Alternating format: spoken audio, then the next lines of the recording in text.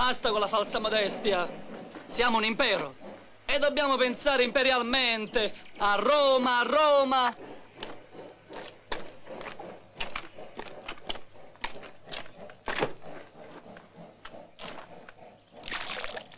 E senza palla al piede. Teresa, tu hai avuto il tuo momento di felicità. Vivi di questo ricordo. Tu hai una casa e non tutti possono dire altrettanto.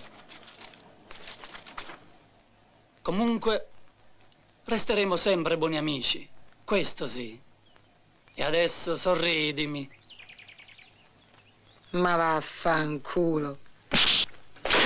Oh, oh, ma ti sei ammattita? Vuoi andare sotto processo? Sto in divisa.